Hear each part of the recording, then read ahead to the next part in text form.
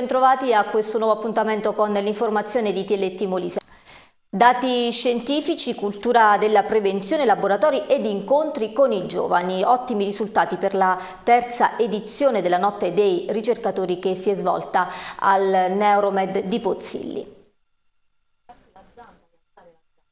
Grande successo per la terza edizione della Notte dei ricercatori al Neuromed di Pozzilli, all'interno del Parco Tecnologico una serie di iniziative durate tre giorni, laboratori, confronti, diffusione di dati scientifici e non solo, un viaggio della conoscenza per dimostrare come la vita umana è sempre caratterizzata dalla ricerca e come la ricerca stia evolvendo.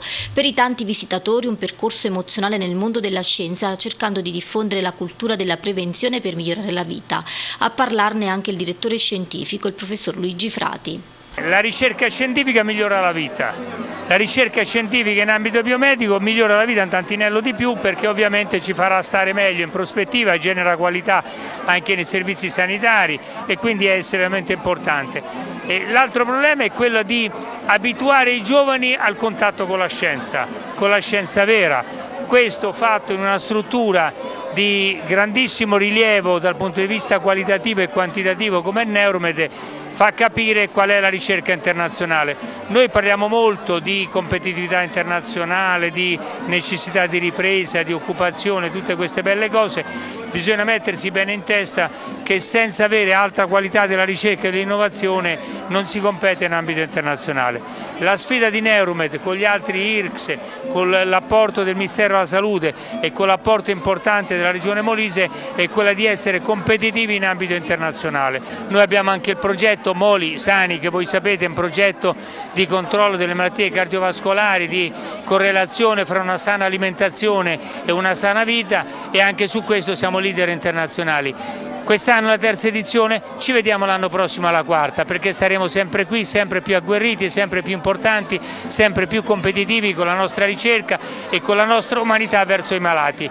Ricordiamo che noi abbiamo l'80% di malati da fuori regione, è un marchio di grande qualità di cui siamo orgogliosi per qualità della clinica e per qualità dell'umanità che ci contraddistingue. Canti, balli e animazione alla Fondazione Sant'Antonio di Padova a Trivento in occasione della Festa dei Nonni. Vediamo il contributo. La Fondazione Sant'Antonio di Padova ha celebrato a Trivento la festa dei nonni alla presenza di tutti gli ospiti della struttura, familiari, gli animatori dell'associazione Pacioc e del personale sempre disponibile e solerte ad ogni necessità un evento che ha voluto rinsaldare il legame tra generazioni diverse per non disperdere i valori della famiglia e della comunità locale. L'Istituto di Via Cappuccini ospita 27 anziani provenienti dal circondario Trignino e dal vicino Abruzzo. È una festa, io l'ho chiamata una festa con una famiglia allargata, infatti non abbiamo fatto nessun tipo di, eh, di invito o altro, lo festeggiamo con i nostri nonni, io li chiamo i nostri nonni, non i nostri ospiti, per cui è un momento per stare insieme e per fargli vivere un po' una giornata diversa, anche se noi queste giornate veramente le facciamo settimanalmente, il gruppo che anima la festa, eh, Pacio Conlus, il gruppo Clown, viene tutte le, tutte le settimane, il martedì, a fare questo tipo di intervento, perché ci teniamo che i nonni oltre a stare bene fisicamente stiano bene anche mentalmente. Ecco, il benessere delle persone più anziane, voi ospitate settimanalmente l'associazione eh, Pacioc, eh, Clown Terapia, ci sono anche altri interventi particolari per i vostri anziani? Allora, gli interventi diciamo, particolari vengono fatti comunque in eh, concomitanza con eh, prescrizioni mediche da parte della ASRAM, quindi riabilitazione di, da parte dei fisioterapisti esterni, non nostri, perché qui non c'è un reparto di fisioterapia, eh, anche perché è una casa di riposo, non è una residenza sanitaria assistita, quindi diciamo, poi ci sono eh, interventi che fanno le suore, la congregazione del, delle suore di Montefalcone, le suore della Carità, che giornalmente eh, la mattina, oltre ad animare diciamo, sotto l'aspetto religioso, quindi con eh, la recita del Santo Rosario, eh, animano anche eh, l'attività manuale degli ospiti facendogli fare dei lavoretti per mantenerli sempre diciamo, abili in attività. Il dottor Fulvio Fusco assieme al suo gruppo di clown terapia ha portato una ventata di allegria e partecipazione, ospiti coinvolti in canti, balli e giochi.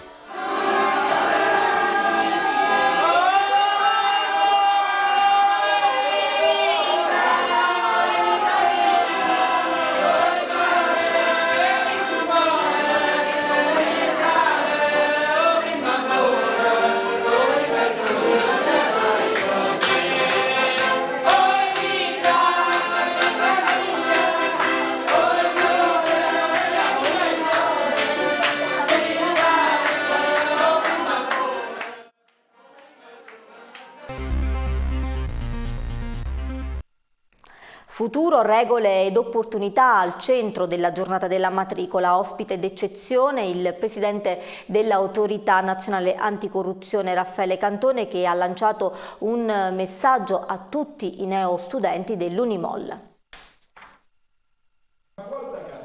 Corruzione, fuga di cervelli, scarse risorse alle università per la ricerca. Il quadro italiano non è proprio tra i migliori ed analizzandolo appare sempre più necessario invertire la rotta puntando sì sul principio di uguaglianza ma abbattendo quegli ostacoli che rendono impossibile una realtà meritocratica. È di questo che stamane all'Unimolli in occasione della giornata della matricola ha parlato Raffaele Cantone, presidente dell'autorità nazionale anticorruzione.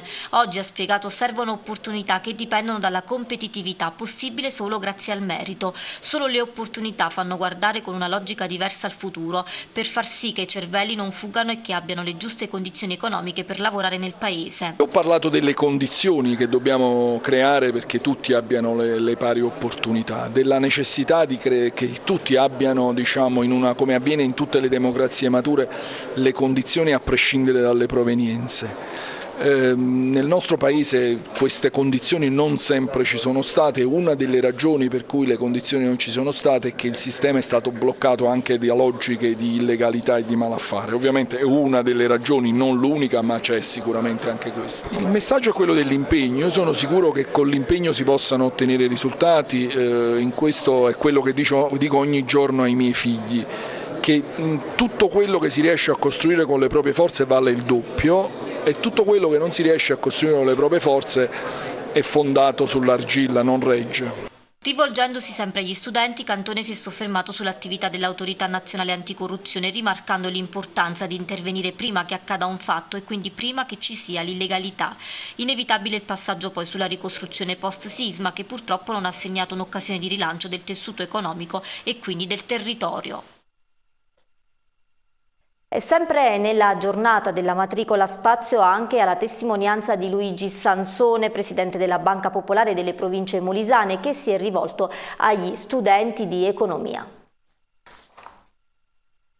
Ha portato la testimonianza di una realtà che funziona Luigi Sansone, presidente della Banca Popolare delle province molisane. Nell'ambito della giornata della matricola ha incontrato gli studenti della facoltà di economia aziendale raccontando il percorso dell'istituto che dirige e che sta nel tempo offrendo sempre più posti di lavoro. Innanzitutto voglio lasciare tanti auguri per il nuovo anno che adesso inizia con oggi e poi dare anche un po' di conforto in un momento in cui per i giovani la vita è particolarmente dura, mi riferisco poi non tanto al periodo universitario quanto a quello post-universitario quando si, si cerca di avvicinarsi al mondo del lavoro e oggi purtroppo il 40% dei giovani non riesce a trovare un'occupazione. Dal momento che abbiamo creato in Molise questa realtà della banca popolare che non esisteva fino a dieci anni fa perché le vecchie banche erano state assorbite nel processo di aggregazione è anche un modo per testimoniare che in Molise si può fare impresa e si può dare lavoro a tanti giovani come stiamo facendo noi. Poi un consiglio a tutti gli universitari affinché non manchi mai il giusto impegno. Ai giovani io do questo consiglio, innanzitutto di impegnarsi negli studi, questo è fondamentale, ma poi anche di cacciare fuori la grinta, l'autostima, cioè non basta eh, saper eh, tante cose che imparate all'università, bisogna saperle mettere in pratica e bisogna farlo con decisione, con forza, cercando assolutamente eh, come devo dire, di, di, di capire e non, a, non a, ehm, abbattersi alle prime difficoltà che indubbiamente ci sono sempre sia nel mondo dello studio che in quello del lavoro. Insomma bisogna che i giovani sappiano puntare su se stessi.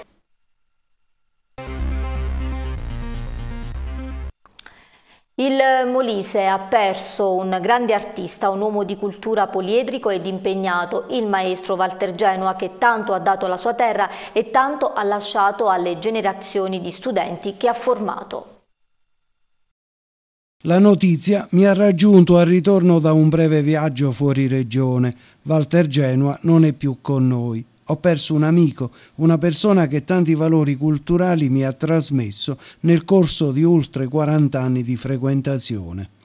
Scompare uno degli artisti più interessanti di questa nostra regione, un artefice significativo di tante idee nel campo della pittura e della scultura del nostro paese, che sapeva dominare la comunicazione visiva attraverso dipinti e sculture di grande forza emotiva, che sempre sono stati apprezzati dal grande pubblico di intenditori, frequentatori costanti di ogni suo allestimento, di ogni sua proposta e mostra splendido anche nell'incisione, mostrando la padronanza completa nel mondo complesso ma affascinante dell'arte moderna. Genoa è stato anche un ottimo insegnante, ha trasmesso ad intere generazioni di studenti molisani la passione per l'arte e la conoscenza delle opere dei periodi artistici che hanno fatto dell'Italia la culla della cultura occidentale. Un uomo di scuola che ha vissuto nell'integrità e nella massima onestà non soltanto intellettuale, ma concreta e significativa anche attraverso un impegno politico assai incisivo come consigliere comunale di Campobasso, eletto nelle fila del Partito Comunista Italiano, quello di una volta, dove i dirigenti portavano il nome di Paietta, Amendola, Berlinguer. Una persona mite, semplice, ma dalle grandi visioni artistiche e culturali, parte funzionale di un gruppo di artisti che ha voluto fortemente il riscatto del Molise, traghettandolo fuori dall'isolamento culturale che lo aveva accompagnato per lunghi tratti della sua storia. Ricordarlo per me è un obbligo, soprattutto perché tante volte ho presentato lui e la sua opera artistica nei seminari e nei convegni che lo hanno visto protagonista assoluto. Giungano da noi di TLT Molise le più sentite condoglianze alla signora Lina e ai figli Gianfranco, Carla e Giuliana. Lo facciamo riproponendo alcune immagini delle sue opere, riprese in una delle ultime sue mostre, a dimostrazione che ancora tanto resta e resterà del maestro Walter Genova.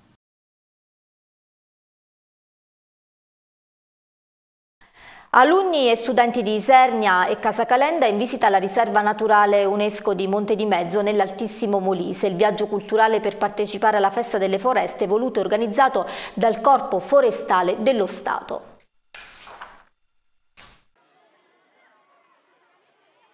Un viaggio alla scoperta del ricco patrimonio di vegetazione e fauna appenninica all'interno della riserva naturale dell'UNESCO a Monte di Mezzo, nel Molise Altissimo, una gemma di circa 27.000 ettari incastonata tra sette comuni della provincia di Isernia, Carovilli, Chiauci, Pescolanciano, Pietrabondante, Rocca Sicura, San Pietro Avellana e Vasto Girardi.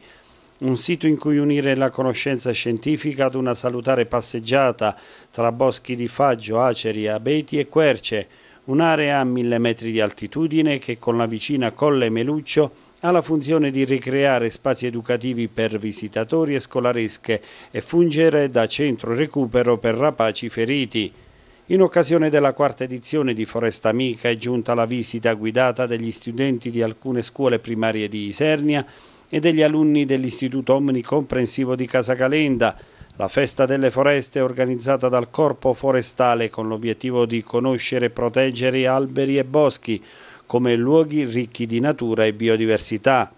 Gli studenti hanno percorso il sentiero Colle San Biagio accompagnati dai loro docenti e dagli ispettori della forestale, fianco a fianco ai recinti faunistici alla scoperta da vicino di cervi, daini e cinghiali, Prima dei saluti di rito la visita al museo ricco di esemplari imbalsamati della fauna locale, tra gli altri il lupo, la volpe, l'istrice, l'aquila e il gufo reale, tassi e gatti selvatici.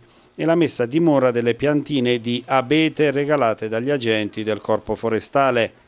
Sulla strada del ritorno, attraversando il verde di Colle Meluccio, altra riserva della biosfera della provincia di Isernia, sin dal 1977, non poteva mancare la visita allo splendido teatro sannitico di Pietrabondante, visitato mediamente da più di 12.000 turisti l'anno.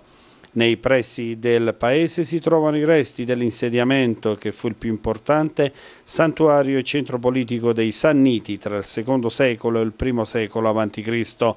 Nel complesso ellenistico italico si trovano due templi e un teatro, quest'ultimo utilizzato ancora oggi per manifestazioni teatrali classiche nel periodo estivo.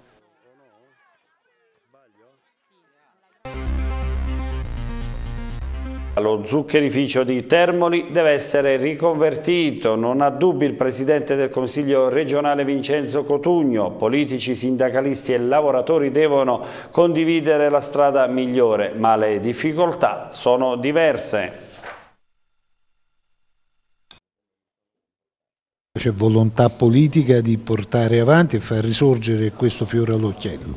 Ma la volontà politica è unanime ed è bipartisan, voglio dire, assolutamente. Eh, sicuramente lì lo zucchero non si farà più, eh, di questo siamo altrettanto convinti tutti, bisogna trovare eh, altre soluzioni e per quello stabilimento che non è più della regione, della procedura, per cui bisognerà trovare il mercato, l'imprenditore che sul mercato lo potrà eh, riconvertire ad altre attività evidentemente, ma con eh, il riconoscimento dell'area di crisi semplice di quell'area così come fatto per l'area di crisi complessa dell'area Boiano-Isernia-Venafro, bisognerà trovare politiche di lavoro attive che consentono la ricollocazione di tutti quanti gli operai. Se ipotizziamo ancora lo zucchero non andiamo da nessuna parte, credo che abbiamo perso già troppo tempo nella eh, speranza e nell'ipotesi di, di continuare a fare zucchero in quello stabilimento ormai lo zucchero non è più competitivo sul mercato, eh, siamo alla 17, 14, 15 asta credo dello stabilimento, questa la dice lunga sul fatto che quello è uno stabilimento che sicuramente non produrrà più zucchero. È chiaro che questo prevederà tempi non certamente brevi, per la riconversione di quello ecco, stabilimento. C'è un problema sociale che sono 70 famiglie che stanno senza lavoro e che stanno soffrendo da troppo tempo. E su questo noi dobbiamo attivare eh, politiche attive sul territorio al di là dello zuccherificio. Quindi su questo stiamo lavorando, ci stiamo confrontando. Lunedì faremo un'altra riunione con eh, anche i rappresentanti della Giunta con eh, l'assessore alle attività produttive, all'agricoltura. Mercoledì alla Capigruppo contiamo di portare una, una proposta ampiamente condivisa, condividendola ancora di più con i Capigruppo per, per poi arrivare con un consiglio monotematico, non dobbiamo nasconderci le difficoltà perché sennò sarebbe quasi illudere della gente che non merita assolutamente questo. Quindi massima trasparenza, franchezza, però massimo impegno a trovare le soluzioni che possano far uscire quell'area dalla crisi, ma soprattutto i, i lavoratori dell'ex zuccherificio che stanno soffrendo da tanto, tanto tempo. Protocollo di intesa tra Comune di Campobasso e associazioni ADMO, Avis, Fidas e Frates per sensibilizzare alla donazione di sangue del midollo osseo. Un messaggio lanciato innanzitutto ai neo maggiorenni.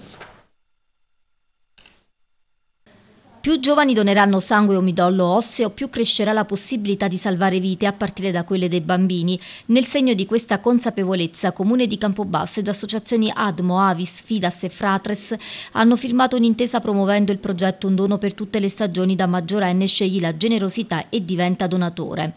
Proprio al compimento del diciottesimo anno di età è infatti possibile diventare donatore. L'amministrazione di Palazzo San Giorgio dunque porta avanti una nuova iniziativa. Il progetto abbiamo immaginato di chiamarlo così perché è partito a Natale con la donazione degli organi eh, e eh, adesso trova compimento anche rispetto alla donazione del sangue e del tessuto midollare, quindi mh, un dono per tutte le stagioni perché è un atto di generosità che può essere fatto in qualunque momento, anche se ci sono dei periodi dell'anno in cui è mh, eh, diciamo, consigliabile farlo, eh, però per ogni tipo di indicazione rispetto a come fare, dove fare, eh, ci sono le associazioni a disposizione, la brochure che verrà inviata conterrà anche questo tipo di informazioni, quindi i ricapiti delle eh, quattro associazioni che lavorano quotidianamente sulla donazione.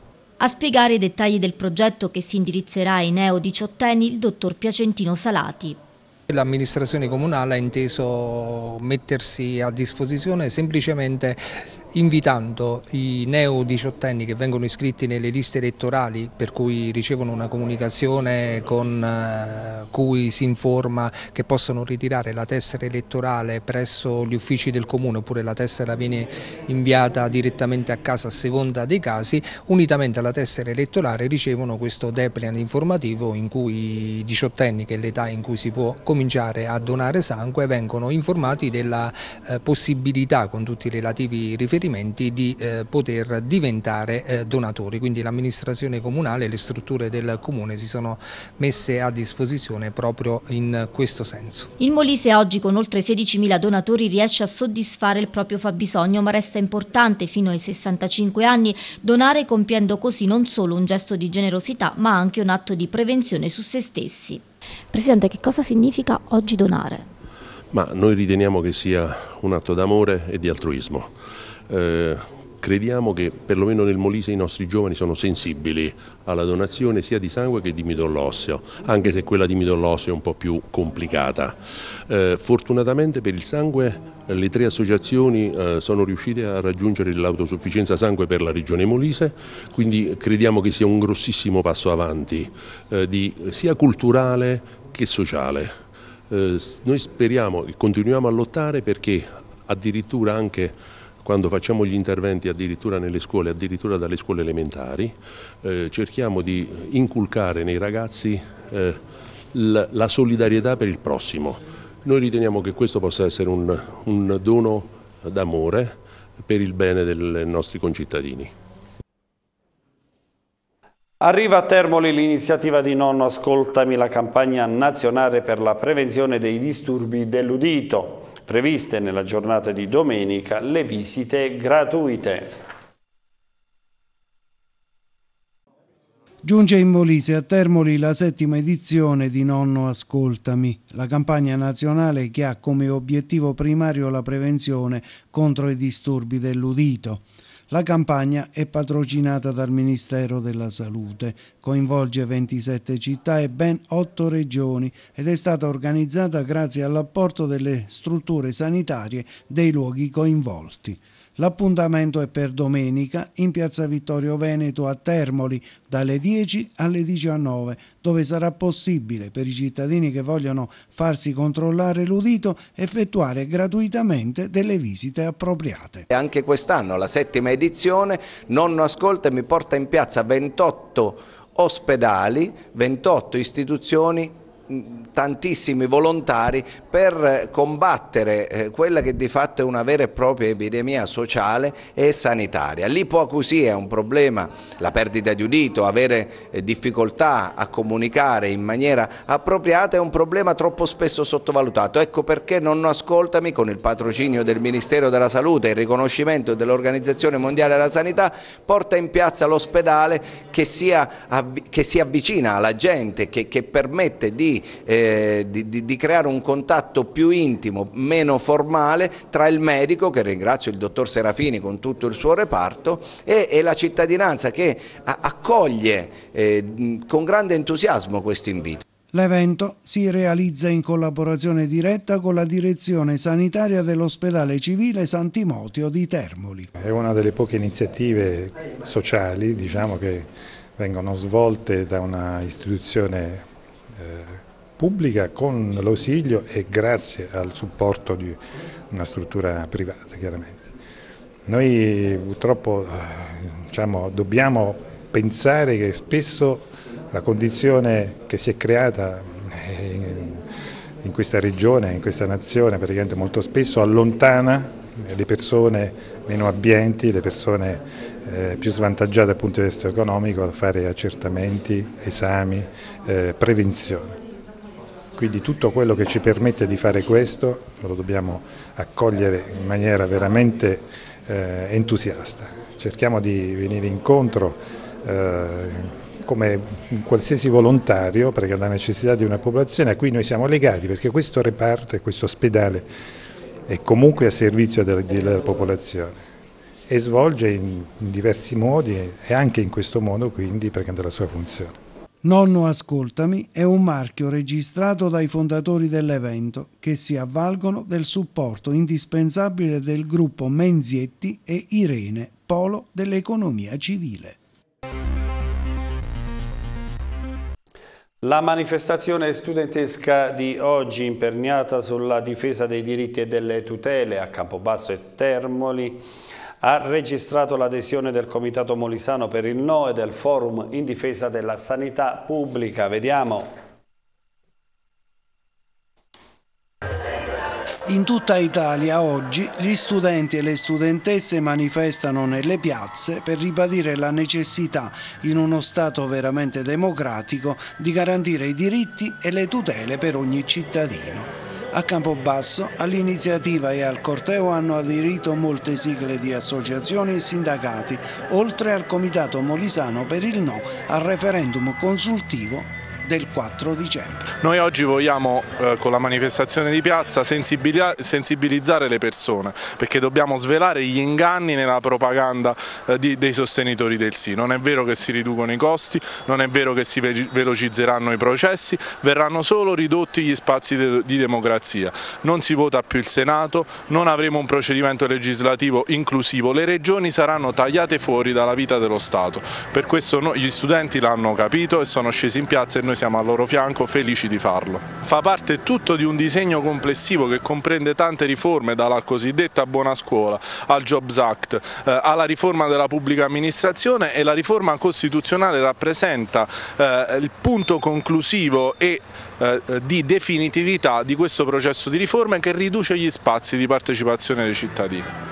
Altra adesione importante è quella del Forum per la difesa della sanità pubblica, che racchiude tante associazioni che lottano appunto per difendere il diritto per tutti alla salute attraverso il potenziamento della sanità pubblica. Gli studenti manifestano oggi eh, per una deforma che va a modificare la Costituzione, ma anche per contrastare e per esprimere di nuovo il dissenso contro la riforma della scuola detta buona scuola che di fatto demolisce la scuola pubblica e tanto disagio crea anche ai lavoratori della scuola. È per questo motivo che noi Innanzitutto come forum abbiamo detto no alla riforma della Costituzione in quanto contiene i principi ai quali noi ci riferiamo difendendo il diritto universale alle cure e quindi siamo con gli studenti che sono stati sempre con noi nella battaglia a difesa della sanità pubblica. Raccolta, trasformazione, conservazione e vendita dell'olio extravergine molisano, ampio dibattito questa mattina a Larino in occasione della fiera di ottobre. La politica è chiamata a sostenere la valorizzazione dell'olio molisano e delle colture olivicole. Dibattito oggi nei padiglioni della fiera di ottobre sulle possibilità di crescita e commercializzazione fuori dal mercato regionale dell'extravergine. A partecipare alla discussione anche i docenti dell'Istituto Agrario San Pardo di Larino, un istituto nel quale è stato impiantato un campo varietale. Noi come Istituto Tecnico Agrario cerchiamo con il nostro campo catalogo varietale di iniziare a promuovere eh, dei, degli oli monovarietali ma anche oli plurivarietali opportunamente assemblati.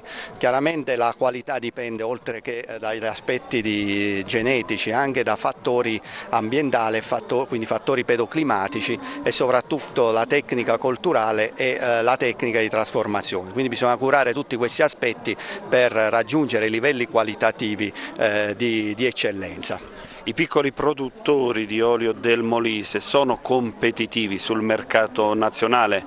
Allora la maggior parte dei piccoli produttori che producono olive che poi vengono destinate alla produzione di un olio di massa ovviamente non sono competitivi anche perché se non si afferma e non si conquista il mercato attraverso eh, l'adeguata remunerazione, attraverso i prezzi eh, non si è competitivi perché i costi di produzione sono troppo elevati. Chi invece inizia a eh, eh, conquistare quelle fette di mercato dove è possibile eh, realizzare dei prezzi di mercato eh, maggiormente remunerativi, allora quelli iniziano ad avere chiaramente dei margini eh, di produttività e le aziende possono essere competitive come può fare la politica, le istituzioni, ma anche l'Istituto Agrario San Pardo di Larino a promuovere maggiormente questa che è una delle eccellenze della regione Molise? Allora sicuramente l'Istituto Agrario, visto che ha impiantato un campo varietale, un campo catalogo con tutte le varietà autoctone molisane, cercherà di promuovere sia gli aspetti qualitativi che gli aspetti di tecnica culturale per la corretta gestione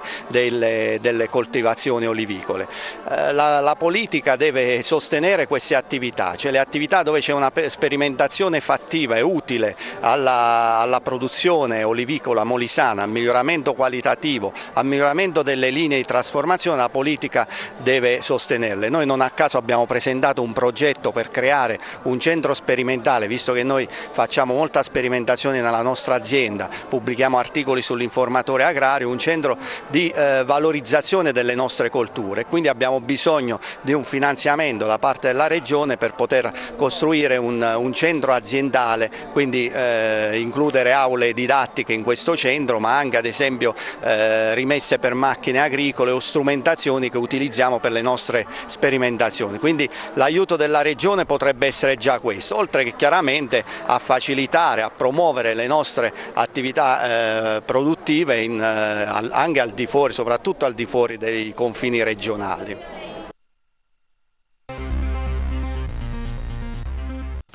Cambiamo argomento, convegno conclusivo al Teatro Savoia di Campobasso del progetto che ha riguardato la prevenzione dei fenomeni di bullismo e anche l'emarginazione sociale all'interno del gruppo classe. Vediamo questo servizio. Di scena questa mattina sul palcoscenico del Teatro Savoia di Campobasso un convegno con al centro le conclusioni di un lavoro progettuale condotto con gli studenti di alcuni istituti scolastici sul tema preciso della prevenzione dei fenomeni di bullismo e l'emarginazione sociale, studiando ed analizzando le dinamiche all'interno di una classe. Il progetto ha avuto un percorso temporale ed è stato curato supportato negli interventi attivi di incontro con gli studenti da due psicologhe e psicoterapeute, le dottoresse Giulia Leonelli e Alessandra Passarella. La direzione primaria del percorso è stata quella della conoscenza delle persone, entrando nella sintonia di una vicinanza necessaria ma fondamentale a condividere i passi delle loro esistenze, tenendo in grande considerazione i pensieri, le storie personali, i rapporti interpersonali, le dimensioni culturali e anche e soprattutto la partecipazione ai percorsi sociali.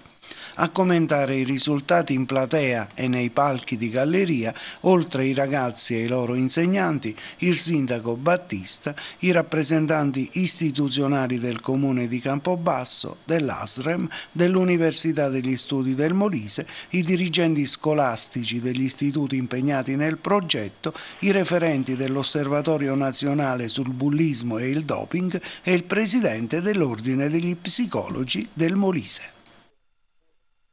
Gli agricoltori e le istituzioni del Molise per affrontare l'emergenza cinghiali chiedono all'ISPRA di allargare anche il periodo di caccia, problematica sollevata a Salcito nel corso di un dibattito molto acceso. Vediamo.